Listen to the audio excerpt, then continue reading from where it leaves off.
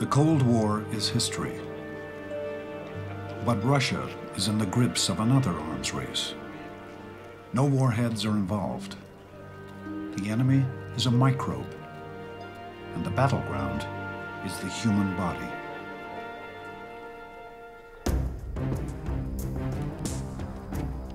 The race between predator and prey is a driving force in evolution.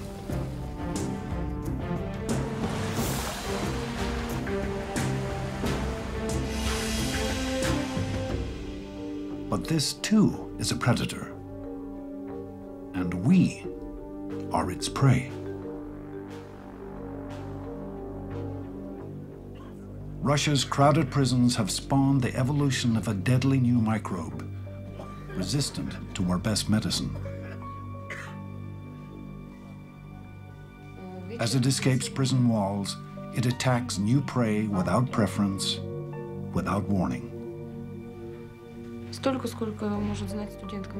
Like any medical student, I knew about the disease. I knew its symptoms. But I had no idea it could be like this.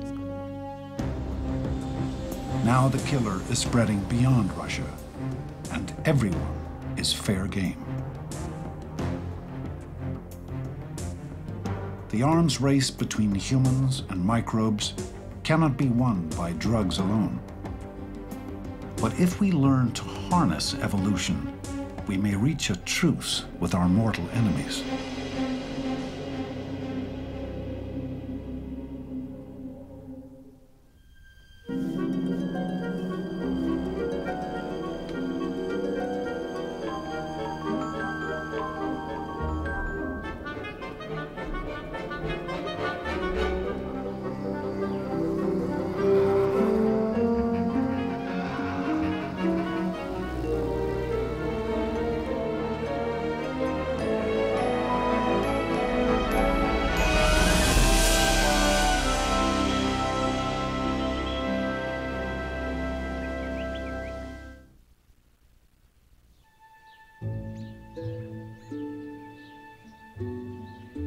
On a misty morning, western Oregon seems a mild place, fit for gentle creatures like beaver and duck.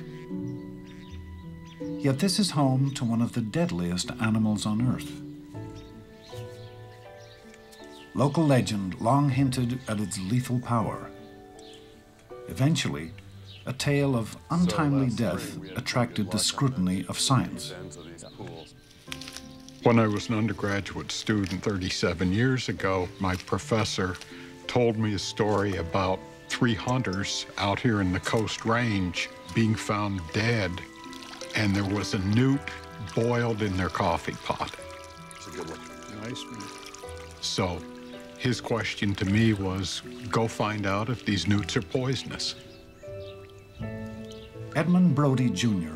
has studied the rough-skinned newt ever since the last decade or so with his son, Edmund Brodie III. It turns out the newt is extremely poisonous. Its skin glands secrete one of the most potent toxins found in nature. When ingested, the toxin can paralyze a victim within minutes and shut down vital functions within hours.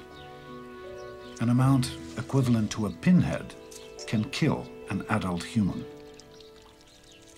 This is probably the most poisonous animal in the world with enough skin toxin to kill tens of thousands of mice or perhaps a hundred people.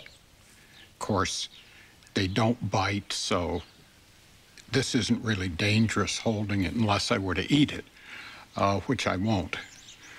The question was why should a small animal like this be so many times more toxic than necessary to kill all predators? Why should a salamander evolve that much toxin? Yeah, I can smell the, the secretion. Don't lick your hands. I'll try not to.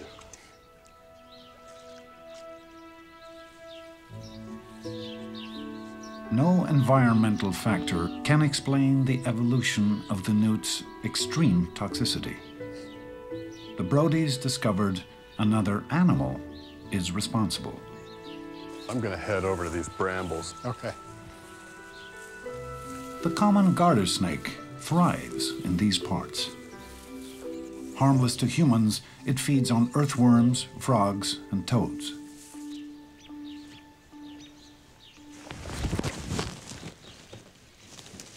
But there's one prey in the snake's diet few other predators ever touch. She's got a food item. Oh, yeah. Look at that. It's a pretty big object. I don't know if it's a if it's big enough to be a newt, but it could be. Come on, honey. Here it comes. Yeah, yeah, here it is. Hey, how about that? It had eaten a full-sized male newt. Yeah. This species of garter snake is the, the predator that we think is driving the evolution of the high toxin levels in the newts. This is the only thing that can survive an encounter with a newt. It's the only thing that can therefore represent a selective pressure for increasing toxicity. As the snakes get better at resisting the effects of the toxin, the prey has to evolve higher levels of toxin. You can think of this as this sort of escalating, counter-escalating arms race between the predator and the newt, the prey. But the toxin does take a toll. Some snakes are slowed down. Others are immobilized for a few hours after eating a newt. In the lab, the Brodies can measure the garter snake's resistance to the toxin. They coax a baby snake down a track wired with motion sensors and record its time. Time? Then they inject the snake with a small amount of purified toxin to simulate the effects of eating a newt. Now the snake is raced again. It's aggressive. Sometimes when they can't crawl, they do that. A snake with low resistance can be stalled to a standstill. 6.3. Yeah. Whoa. A resistant snake is much less affected by the toxin, but it too pays a price. The more resistant a snake, the more slowly it moves without any toxin. The snake experiences a cost from evolving the resistance. That snake would be more susceptible to its own predators. 4.1. So there's a trade off between speed in a snake and the level of resistance. All through Oregon, you've got. We were very surprised to see that the arms race is a predator evolving to a prey and a prey evolving to the predator. And this has allowed us to get a better understanding of evolution.